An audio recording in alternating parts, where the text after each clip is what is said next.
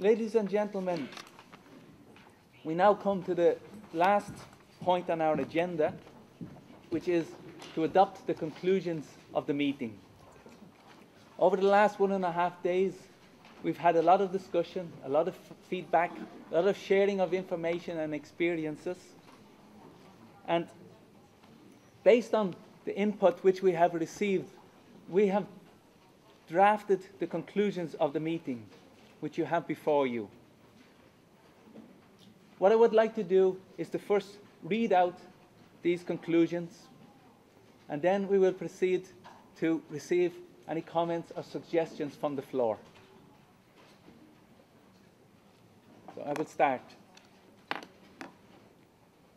The DMFAS Advisory Group advises the Secretary General of UNCTAD of the following conclusions of its eighth meeting, held on, in Geneva on 17th and 18th November 2011. The DMFAS Advisory Group, regarding the programme's strategic plan and work plan, notes the positive outcomes from the completed 2007 to 2010 strategic plan. Two, considers that the new strategic plan for 2011 to 2014 is relevant and responsive to countries' needs and will contribute to strengthening the capacity of developing countries and economies in transition to manage their operational, statistical, and analytical debt management functions. Three, appreciates the well focused objectives of the new strategic plan. Four, agrees with the priorities for the period, and in particular the implementation of DMFAS 6 and capacity building. Five, acknowledges that the DMFAS system should be the primary source of debt data for other systems used by the institutions, for example, MTDS, asset and liability management, and public financial management systems. Six, request the programme to ensure that adequate provisions are made for training of national information technology staff involved in supporting DMFAS. Seven, recommends that system functionalities and related training in the area of debt securities, including options and derivatives, be key priorities for the period. 8.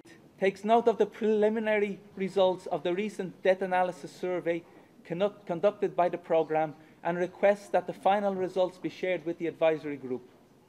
9 encourages the programme to facilitate guidance on optimal methods for establishing national and regional capital markets. 10. Stresses the importance of continued synergies between the programme's technical assistance work and UNCTAD's research and analytical work on debt management. Regarding DMFAS 6, point 11, appreciates that DMFAS 6 meets the evolving needs of debt offices and is a very positive progression from DMFAS 5.3. 12. Notes with satisfaction that DMFAS 6 incorporates improvements to all the main functionalities available in DMFAS 5.3, as well as enhanced management of domestic debt and securities analysis and reporting. 13. Appreciates the ease of data conversion from DMFAS 5.3 to DMFAS 6. 14 stresses the need for countries to ensure that they have adequate equipment on which to install the new version. 15. Asks the programme to evaluate the feasibility of providing an improved module for grants. 16. Requests the programme to continuously monitor the performance of DMFAS 6 and quickly resolve any problems identified.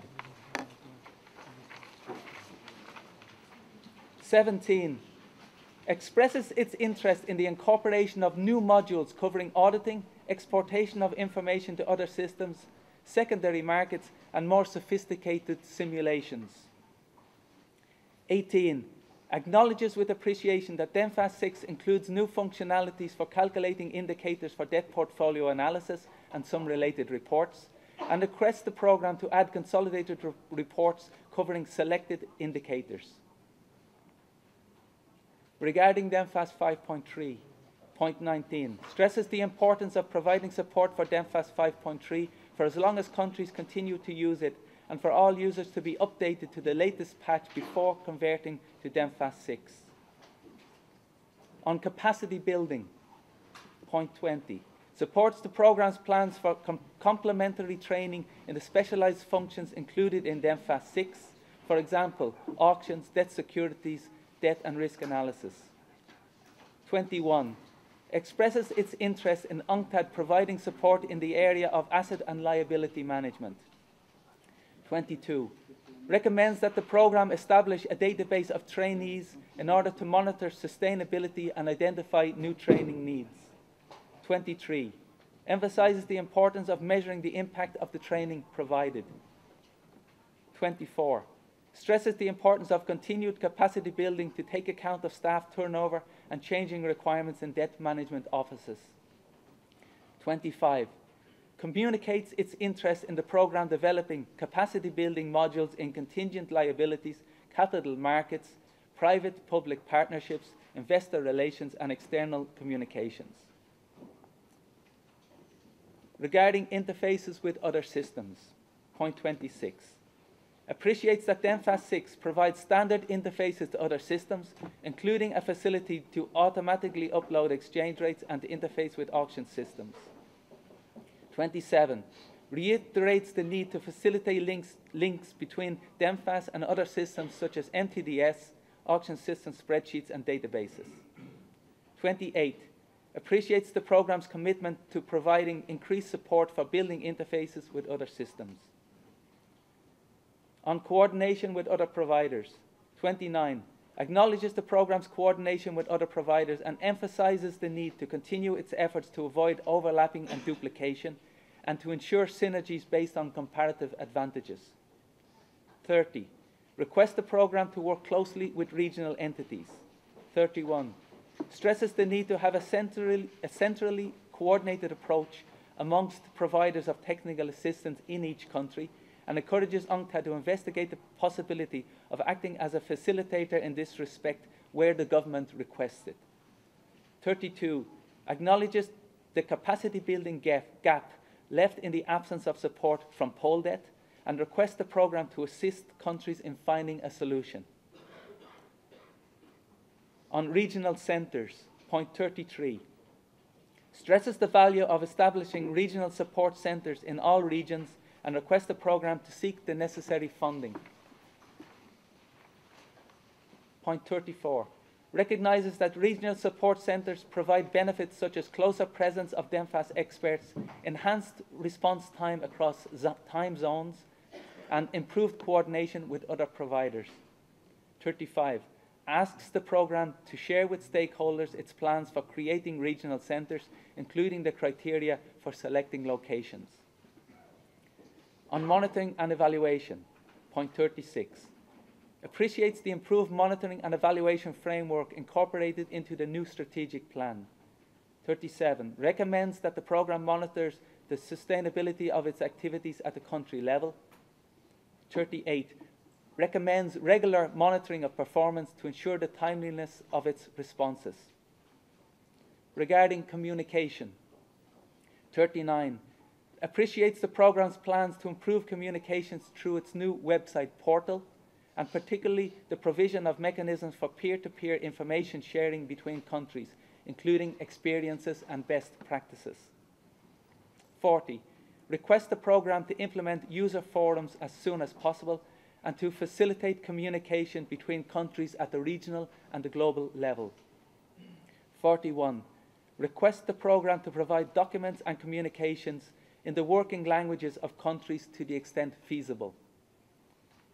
On support, point 42, would recommend more missions from DMFAS experts to reinforce sustainability of national capacities. 43, appreciates, expresses its appreciation for the support provided to debt management offices and encourages the programme to continue to prior prioritise high quality products and services in response to user requests and feedback. 44. Appreciates the services provided by the DMFAS Help Desk and stresses the importance of continued high quality and timely support. 45. Recognises the value of the programme support for debt sustainability and debt strategy formulation within its areas of comparative advantage. Regarding financing of the programme, Point 46. Expresses satisfaction with the positive early results of the financial reform mechanisms integrated into the new strategic plan, as recommended by the 2009 Advisory Group meeting, including the expanded donor base, multi year funding, and cost sharing mechanisms. 47 express, expresses its appreciation for the financial support to the DMFAS programme from the donor community and, encourage, and encourages donors to continue their support. 48 conveys its appreciation for the participation of beneficiary countries in the funding of the programme through the cost sharing arrangements. 49 and last point request the Secretary General of UNCTAD to consider increasing the resources made available from the regular budget of UNCTAD to support the work of the DMFAS programme with the purpose of improving the balance between the different contributors to the funding of the programme. Those are the draft conclusions. Thank you for your attention.